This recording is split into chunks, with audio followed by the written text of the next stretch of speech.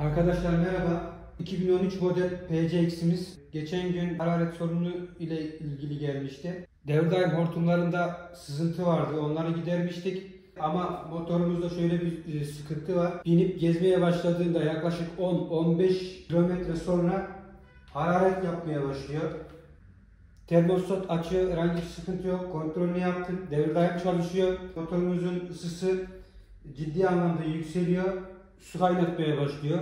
İçinden aldığım yağdan kıllanmıştım zaten. Ee, çamur gibi çıkmıştı. Muhtemelen motorumuz kendini gerektiği gibi yağlayamıyor. Pistonun yağ gözenekleri falan tıkandı. Çünkü içinden almış olduğumuz yağ çok pıhtılaşmıştı. İçinde çok garip garip parçalar vardı.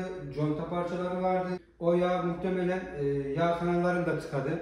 Bu tür durumda ne yapıyoruz? Üst motoru söküyoruz. Üst kapağımızı, silindirimizi söküyoruz. Silindirde aşırı ısı oluşur. Bu sebepten dolayı da motorumuz hararet yapar. Evet, hemen vakit kaybetmeden işimize başlıyoruz.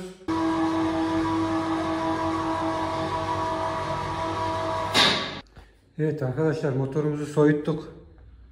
Motorumuzun genel durumu ortada. Motora sahibinin dediğine göre 25-30 bin kilometre önce üst motor yapılmış. Ama hiç alakası yok arkadaşlar. Motor işler acısı bir durumda. Gelişi güzel sökmeye çalışmışlar. Kapakları kırmışlar. Sağ kapağı buradan yapıştırmışlar Japonlar. Normalde bu iki parça. Şu gördüğünüz. Arka kuyruk ve ön yan grenaj. Yine aynı şekilde sökerken arka kuyruğu buraları kırmışlar. Yine aynı şekilde buraları kırmışlar. Tarafları kırmışlar. Sökerken çok acemi bir arkadaşın eline düşmüş motor.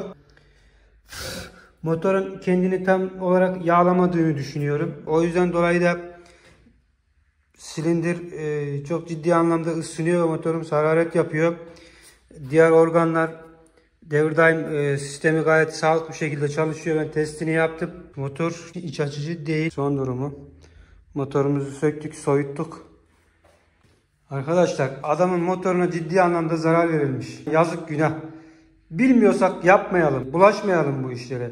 Bu işler gerçekten video izlenerek yapılacak işler değil. Bu işin çıraklığını yapacaksın. Bu işin gidip bir yerde herhangi bir ustanın yanında staj göreceksin. Bu işler gelişi güzel yapılmaz. Video izleyerek yapılmaz. Yani yazık günah. Abimiz şu motora 23 bin yanlış hatırlamıyorsam 23 bin küsür TL yedek parça aldı ya. Yazık günah yani. Şimdi sökeceğiz. Daha net e, her şey ortaya çıkacak. Bu işi biliyorsan yap. Bilmiyorsan bunlar basit işler değil. Yazık günah. İnsanların malına zarar vermeyin. İnşallah motorunu güzel bir şekilde yapacağız. Tekrardan asfaltla buluşturacağız motorumuzu arkadaşlar. Birilerinin videolarını izleyerek bir iş yapmaya çalışıyorlar. Özellikle onlara sesleniyorum buradan. Bu işler video izlenerek yapılacak işler değil arkadaşlar. Bu işin eğitimini alacaksınız. Bu işin çıraklığını göreceksiniz. Yani diğer türlü motorun başına geçer bir, iş, bir şeyler yapmaya çalışırsan granajları sökememiş daha. Granajlar elinde kalır. Daha elimle sökeceğim. Hiç anahtar vurmadım yani. Şuna bak. Hava, hava hortumu dışarıda zaten. Motorla hiçbir bağlantısı yok. Şuna bak.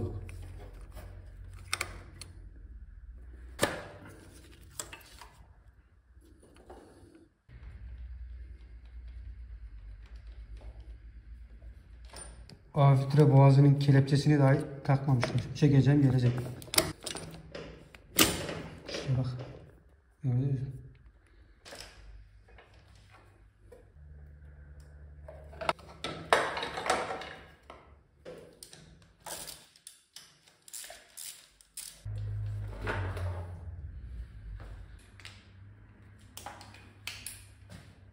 Enjeksiyon girdiğimiz arkadaşlar. Onu da söktük. Arkadaşlar motor yamuk duruyor. Şaseden ayıracağım için birazdan düşebilir.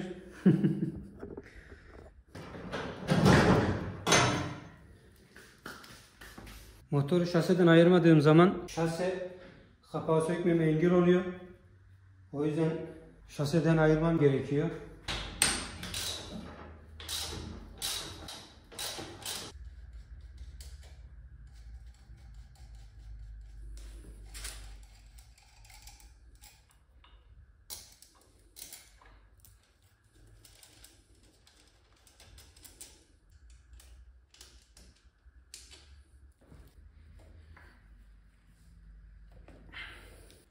...20 bin kilometre önce sökülen bir motor şu an çok kolay bir şekilde sökülmesi gerekiyor arkadaşlar. Hiçbir vidayı sökemiyorum. Çok çitlenmiş, yerine kaynamış, birçoğu civataların başı yalan olmuş. Egzantri boşa çıkaramam için gergiyi almam gerekiyor. Gerginin civatası açılmıyor.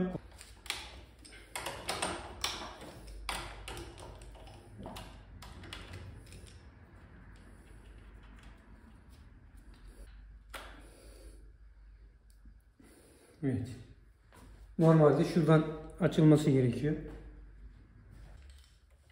Motorumuz torklanırken çok orantısız bir güç kullanılmış. Hiçbir civatanın değerleri birbirine uymuyor. Biri çok fazla sıkılmış, biri diğerinden daha az sıkılmış. Yani doğru toplama yapılmamış motorumuzda. Kapağımızı sökünce her şey ortaya çıkacak arkadaşlar. Üst egzantrik yaprak dişimiz. Onu aldıktan sonra kapağımız gelmesi gerekiyor. Evet. Neler çıkacak göreceğiz arkadaşlar.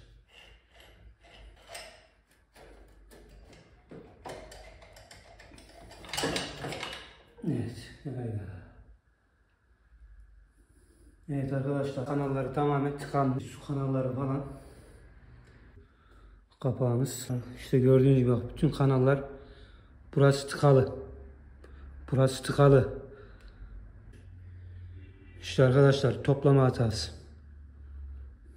Gördüğünüz gibi. Alıyoruz abi. Bizim işimiz bunları düzeltmek, hataları düzeltmek. Evet arkadaşlar şuraya bakıyoruz. Şöyle daha net göstereyim size. Bak kanallar tamamen tıkanmış. Muhtemelen sıvı conta da sürmüşler. Arkadaşlar bakın görün. İşte yapılan işçiliği sahibinin dediğine göre 25 bin kilometre önce toplanmış. Yani silindirin etrafında sıvı dolaşması gerekiyor. Gerekli bir şekilde dolaşamadığı için motor haliyle ister istemez ısınıyor. Böyle bir şey yok. Her taraf bütün kanallar tıkanmış. Neyse. Contayı görüyor musun? Contayı alıyorum. Evet. Contamıza bakın. Silindirin bloğuna bak. Komple tıkalı. Muhtemelen piston da aynı şekilde. Durum bundan ibaret. Bunu söküyoruz abicim. Demin de bahsettiğim gibi videonun başında arkadaşlar bu işler video izleyerek yapılsaydı şimdi herkes usta olurdu. Piyasa ustadan geçilmezdi. Piyasadaki bu hataların çoğunu yapan kişiler video izleyerek tamir yapmaya çalışan kişiler. O yüzden ustanızı iyi seçin. Bize de böyle eziyetler etmeyin. Motor dönüyor dolaşıyor. Bu motor kaç tane usta gelmiş. Kimse bakmamış. Birçoğu bakmış çözememiş. Bakmış devir daimini kontrol etmiş. Çalışıyor. Termostat kontrol etmiş. Bakmış da açıyor. Elektrik arızası var demiştir. Elektrik arızasıyla bunun ne alakası var kardeş? Motor kendini soğutamıyor. Sıvı rahat bir şekilde dolaşamıyor. Sıvı kanalları tıkanmış. Elektrikle ne alakası var bunun? Hararetlenmen yanmaz. Tamam o zaman elektrikten şüphelenebilirsin. Ama motor sürekli hararet yapıyor. Pistona da bakacağız. Zaten içinden aldığım yağda işkillenmiştim yani. Yağ pıhtılaşmıştı, çamur gibi olmuştu. Muhtemelen pistonun gözenekleri de tıkandı. Bizim işimiz bu arkadaşlar. Neyse. Çok fazla şeye gerek yok. Laba lubaya levyemizi alalım kırılmasın.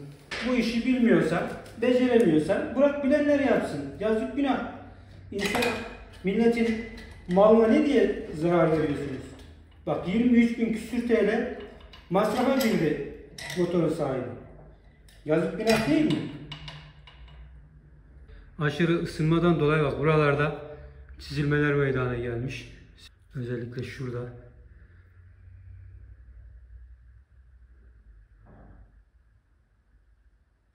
İşte arkadaşlar şurası çizilmiş. Evet. Silindirimizin durumu aşırı ısıya maruz kaldığından dolayı piston şişmiş, silindire sürtmüş. Haliyle de silindirin içinde aşınma olmuş. Evet, pistonumuzun etekleri sürtmüş. Şuradaki pistonun yağ gözenekleri muhtemelen tıkandı. Şimdi sökeceğiz, ona da bakacağız. Pistonumuzu aldık arkadaşlar. Şimdi onu da kontrol edeceğiz. Motorun üzerinde krankın kontrolünü gösteriyorum arkadaşlar. İyi izleyin.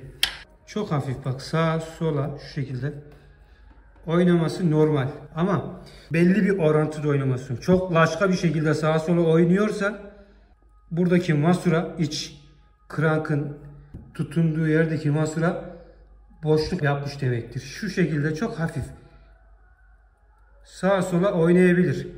Ama şu şekilde aşağı yukarı oynamaması gerekiyor. İtiyoruz, çekiyoruz. İtiyoruz, çekiyoruz. İtiyoruz, çekiyoruz aşağı doğru. Baskı uyguluyoruz. Yukarı çekiyoruz. Neyse bir tur attırıyoruz arkadaşlar. Aşağı, yukarı, aşağı, yukarı. Şu şekilde aşağı, yukarı yapıyoruz arkadaşlar. Evet. Krankımızda herhangi bir sıkıntı yok. Krankımız gayet sağlıklı durumda. Gayet iyi durumda. Rulmanlar sağlam. Aşağı yukarı yaptığımız zaman oynuyorsa, gidip gidip geliyorsa rulmanlarda boşluk var demektir arkadaşlar. Bir de şu sağa sola, sağa ve sola çok laçka bir şekilde sallanmayacak. Örnek vereyim. Çıkma bir krank üzerinde. Sağa sola bahsettiğim şu. Sağa sola bu kadar oynamaması gerekiyor. Oynuyorsa buradaki masurada, buradaki göbek rulmanda boşluk var demektir. Kol aşağı yukarı bastırdığında gidip geliyorsa krank şu yan rulmanlarda boşluk var demektir. Evet arkadaşlar devam ediyoruz kaldığımız yerden. Son devam ediyoruz. Evet arkadaşlar bu tür durumda yapabileceklerimizi söyledim. Motorumuza silindir, piston, segman, üst motoru komple yeniliyoruz. Kapağını elden geçireceğim. Suboplarla ilgili e, bir sıkıntı var mı onu onu da kontrol edeceğim. Şimdi çay molası veriyoruz. Biraz dinlenelim çünkü motor bayağı bir yordu beni.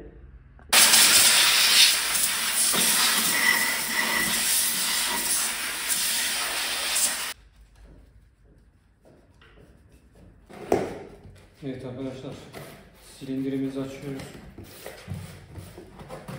Parçalarımız geldi.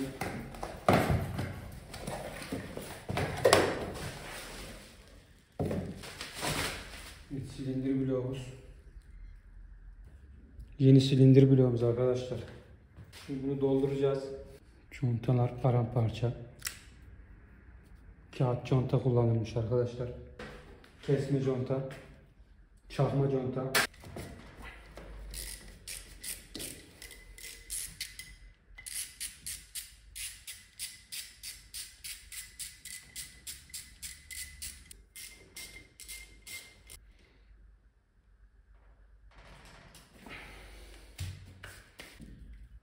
Arkadaşlar şu yüzük buyularımızı da çıkarırken zarar vermeden çıkarıyoruz.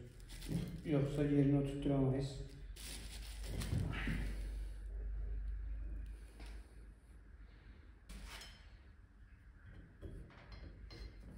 Aynı şekilde diğerini de çıkartıyoruz zarar vermeden.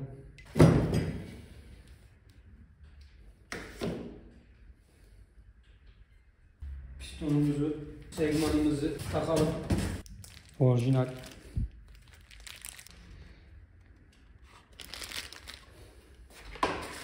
Pinimiz arkadaşlar, piston pinimiz. Kilit segmanlarımız. Segmanlarımız arkadaşlar.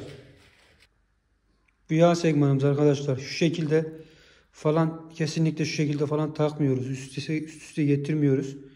Şu şekilde ucuca gelecek arkadaşlar. Birbirine yaslanacak şekilde, düz bir şekilde. Kesinlikle üst üste getirmiyoruz sprayı. Şu şekilde pistonumuzu elimize alıyoruz arkadaşlar. Yağ segmanımızı şu şekilde takıyoruz.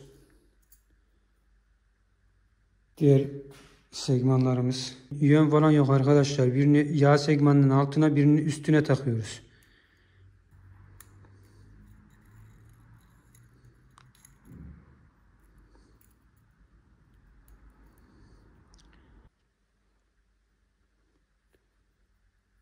Biri burada. Alttaki. Üstünü de çapraz arkadaşlar karşı köşeye şu şekilde üstünün ağzına üst üstte gelen segmanımızı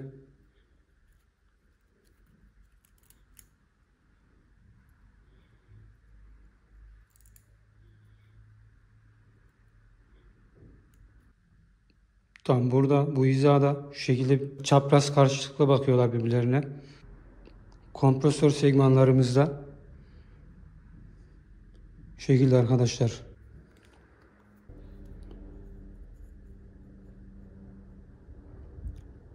O da bu köşeye. Diğer parlak olan da en üstte olan. O da çapraz bu köşeye.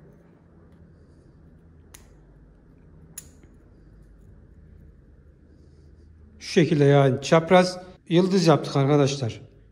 Çarpı yaptık. Yağ segmanımız ortada. Altındaki onu sabitleyen segmanımız bu köşede. Onun üstündeki diğer köşede. Kompresör segmanlarımızın biri bu köşede, diğeri de bu köşede. Parlak olan en üstte arkadaşlar. Segman diziliş şeklimiz bu şekilde.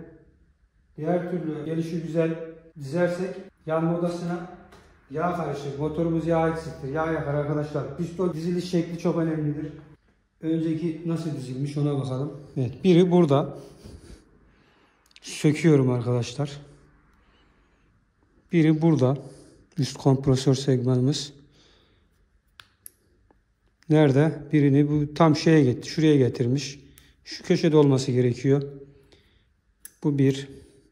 Orijinalliğine dair herhangi bir numara, bir ibare yok. Diğeri de şuraya. Hemen yanına. Çapraz yapıyoruz arkadaşlar bu segmanları. Birbirine yakın bir şekilde dizmiyoruz. Gerisi güzel takılmış arkadaşlar segmanlarımız. Orijinal olduğuna dair hiçbir e, ibare yok. Muhtemelen yan sanayi arkadaşlar. Yağ segmanımız doğru mu takılmış. Onlar da gelişi güzel takılmış. Biri burada, biri burada, biri burada, biri burada. Yani gelişi güzel kafasına göre takmış arkadaşlar segmanları. Zaten motorun e, genel durumundan belli oluyor. Acem bir arkadaşımızın yaptığı. Şimdi şunu kontrol edeceğiz. Eski pistonumuzun yağ gözenekleri muhtemelen tıkalı diye düşünüyorum ama bakacağız yine. Yağı koyuyoruz arkadaşlar içine. Pistonun delikleri tamamen tıkanmış. Şurada bir tane, şuradaki deliklerden bir tanesinde hafif çok sızdırma var. Yok. Evet arkadaşlar içinde yağı doldurdum. Bakın kendini nasıl yağlasın? Kendini nasıl yağlasın bu piston? İşte gördüğünüz gibi. Burada gözenekler, burada delikleri var arkadaşlar. Yağ delikleri var. Bunlar tıkanmış tamamen. Kanalları tıkalı, yağ kanalları tıkalı. Yine iyi çalışmış motor, helal olsun. Honda kalitesi. Modeli ne kadar düşük de olsa, ne kadar eski motor da olsa şu şekilde motor hala çalışıyor. Şu durumda dahi motor 15-20 kilometre yol yaptıktan sonra hararet yapmaya başlıyor. Honda kalitesi. Pistonumuzu yerine takmadan önce silindire yağ sürüyoruz.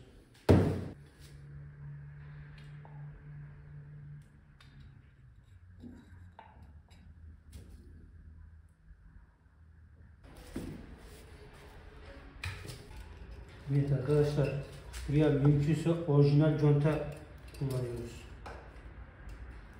Kesme conta, çakma conta kullanmıyoruz.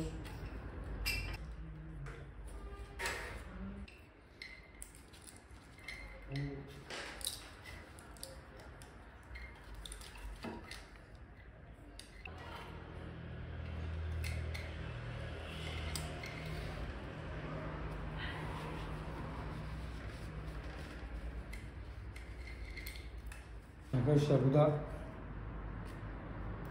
üst contamız. Sadece olan contamız.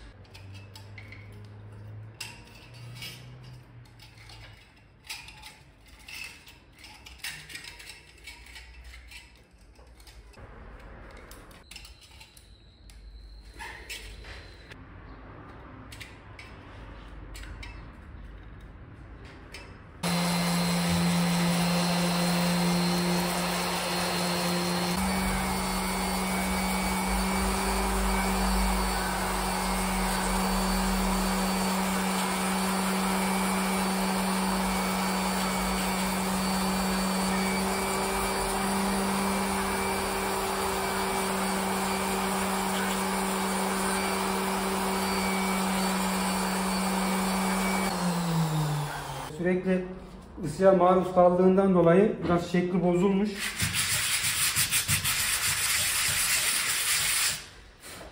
Isı alüminyumun şeklini biraz bozmuş. O yüzden zımpara atmak zorundayız. Zımpara atmadan takarsak yaptığımız işçilik tamamen boşuna gider. Yine kanallarda yağ su birbirine karışır. Taşlama dediğimiz olay işte bu arkadaşlar. Üst kapağımızı taşlıyoruz.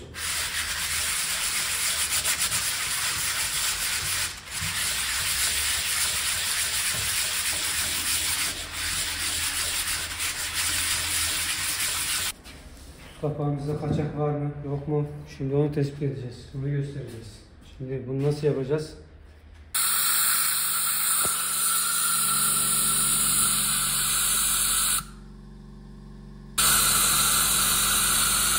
Kaçak var.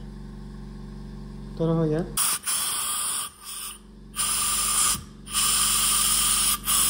Subabımızın bir tanesinde kaçak var arkadaşlar. Evet arkadaşlar subab nasıl alıştırılır onu da gösteriyorum.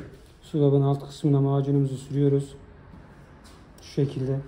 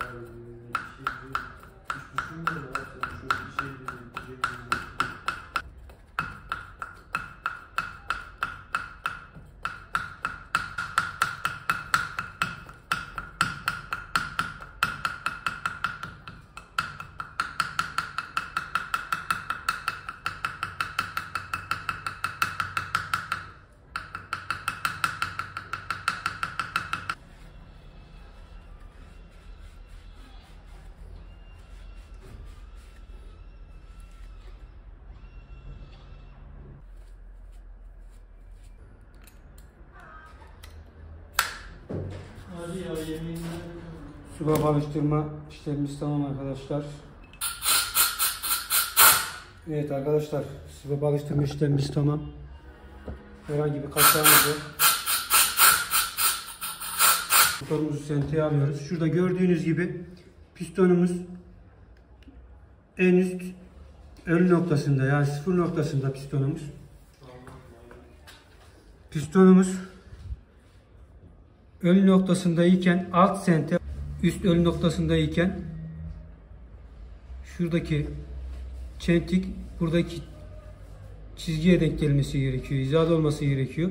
Sente çizgisi burada bak. Bağlantın çizgisi tam şurada üstünde.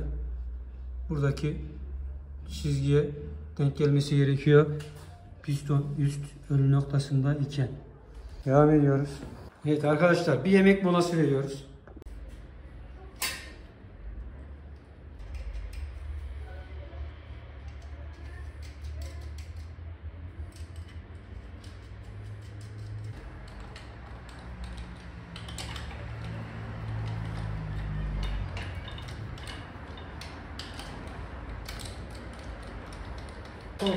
Önce hafif sıkıyorum arkadaşlar. Toplama işlemi daha sonra yapacağım.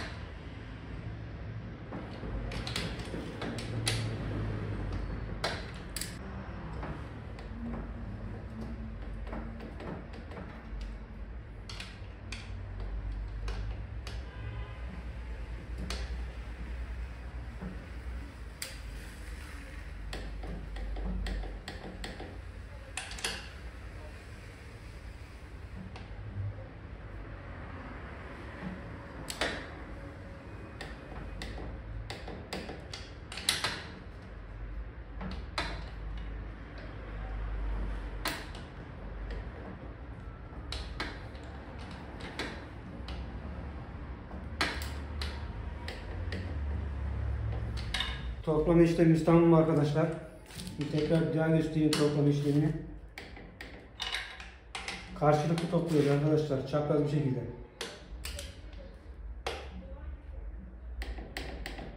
İşte şu şekilde. Anahtardan çıt çıt ses gelecek arkadaşlar. Bu şekilde.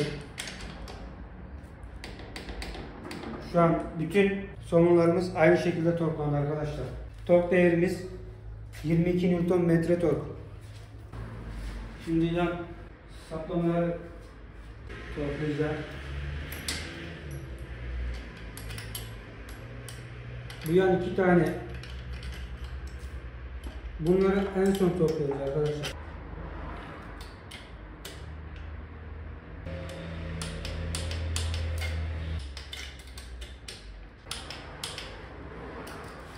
Saplamalarımız da tamam arkadaşlar. Üst bloğumuzu tekrar en son kontrol ediyoruz.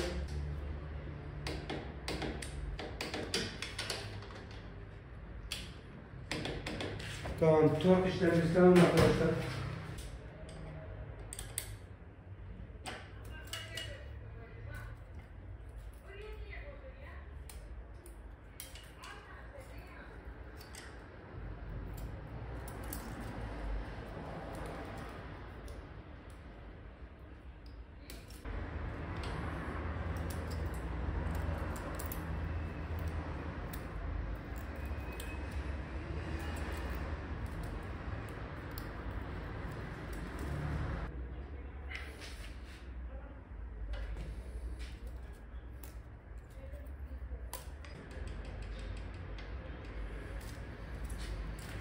Sıva da tamam arkadaşlar. Sıva boyalarımızı yaptık. Eski contasının üzerine sıvı conta uygulamışlar arkadaşlar. O şekilde takmışlar. Contalar her tarafa taşmış. Durum böyle olursa arkadaşlar bu contalar kuruyunca işte gördüğünüz gibi yağ kanallarını tıkıyor. Bu tür contaların üzerine sıvı conta uygulanmaz. Güzelce temizleyeceğiz. Külbütör kapak contamız. Külbütör kapağımızı kapatıyoruz.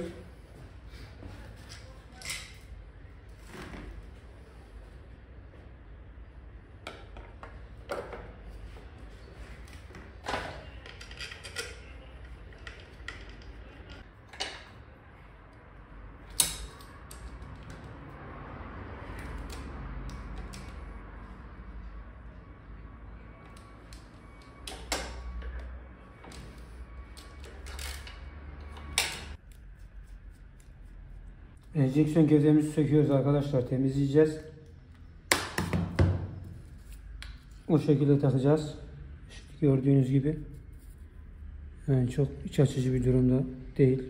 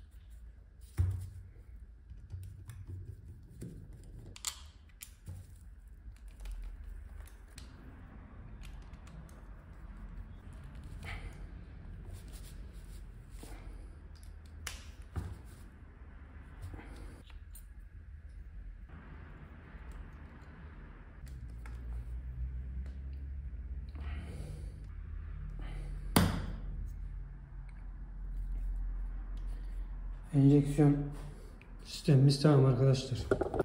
Evet, enjektörümüzü ve manifold boğazımızı da temizliyoruz güzel bir şekilde.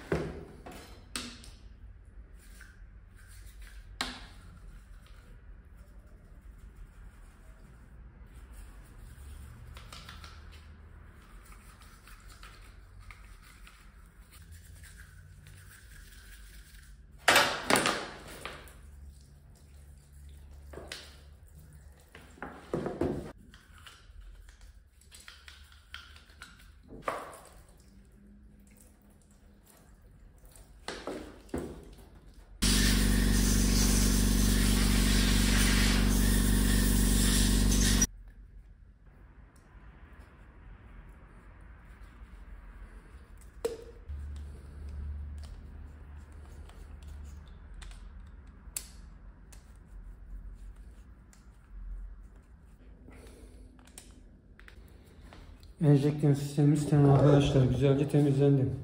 Motorumuzun çalışma performansı daha güzel olacak şimdi.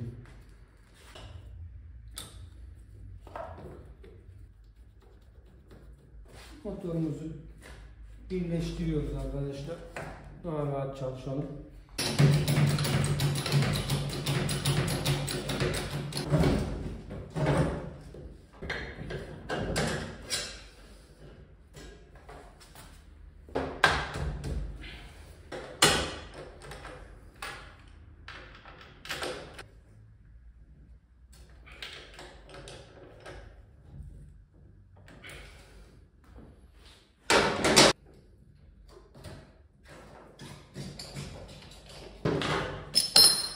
Kirko her ustanın en iyi yardımcılarından biri. Atölyede kirko olmazsa olmaz arkadaşlar.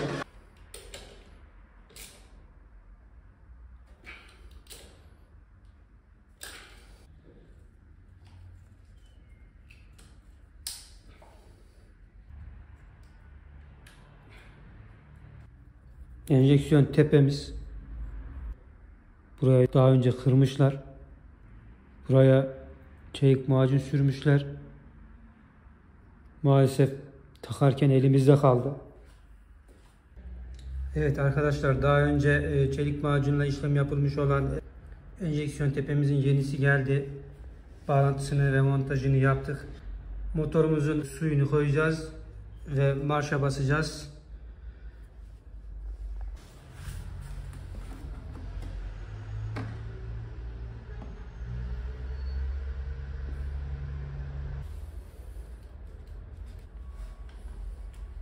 İki montajımızı da yaptık arkadaşlar. Şimdi kontağımızı üç kez açıp kapatıyoruz.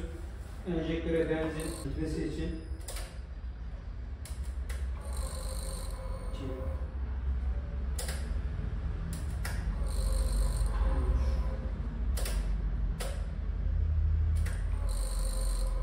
Şimdi ilk başta alması gerekiyor.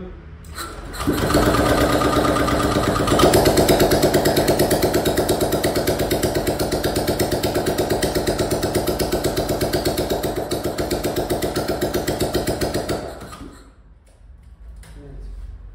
Motorumuz gayet çalışıyor arkadaşlar. Egzoz takmadığım için o ses egzozdan geliyor. Kompresini de takmadım. Şimdi motorumuzu toplama aşamasına geçiyoruz.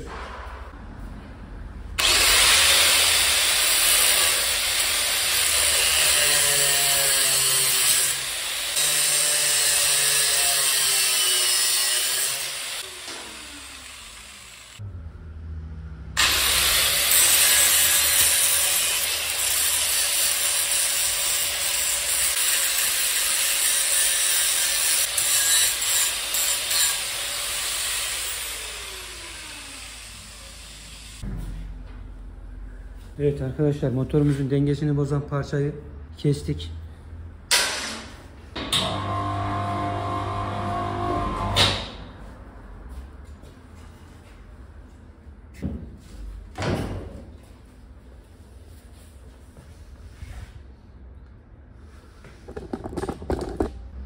Evet motorumuz şimdi daha düzgün duruyor.